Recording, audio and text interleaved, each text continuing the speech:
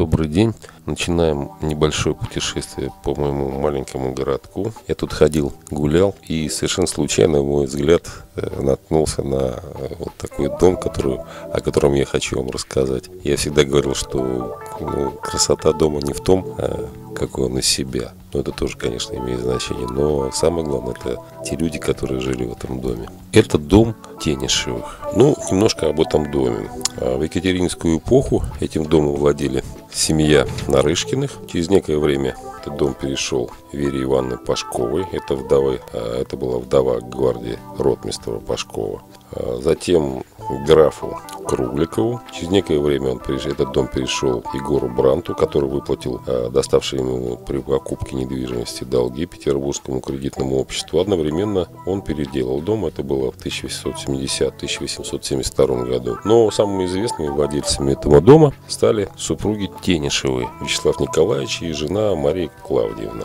А Вячеслав Николаевич известный меценат, у него было неплохое, достаточно приличное состояние. В частности, он входил также в состав торговли и мануфактур, э, там был некий, видимо, комитет при Министерстве финансов.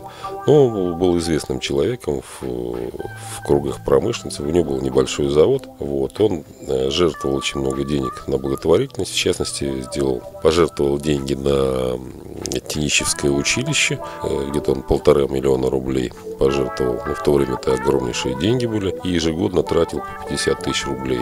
Вот.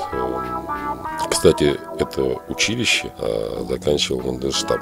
Вот. А Мария Клавдиевна тоже пошла по стопам мужа. Она занималась меценатством. В этом доме был организован музыкальный салон, где бывали Чайковский, Скрябин, Арсеньев, э, некие другие известные композиторы и исполнители. Затем э, в этом доме была создана мастерская рисовальная, называлась она студия по просьбе Репина, вот, где молодые дарования учились для поступления в Академию художеств. А Тенишева принимала участие в художественной жизни Петербурга и была основательницей журнала «Мир искусств». А после этого она, значит, ко всему прочему, приобретала различные картины молодых тогда не совсем известных, непризнанных художников. А среди них был Рубель, Бенуа, Сомов, вот, Рерих.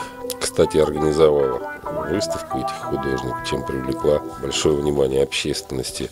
В этом доме Тенишевы жили э, с 1892 по 1903 год, но после смерти супруга, а он умер в Париже в 1903 году, Тенишева переехала в дом номер 6, где и жила до Октябрьской революции. Дом продавался несколько раз. В результате он перешел э, Марии Константиновне Чаплиц, которая была жена штаб-ротмистра Владимира и Устиновича Чаплица. А вот как раз вензель над входом – это вензель Марии Константиновны Чаплиц, МЧ.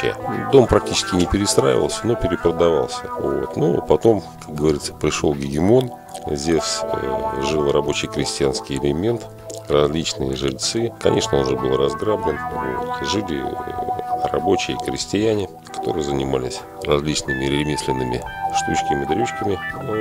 В 26 году дом перешел в аренду польской Биси.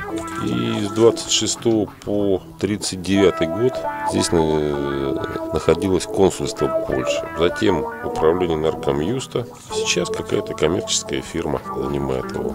Ну вот примерно такая история этого дома.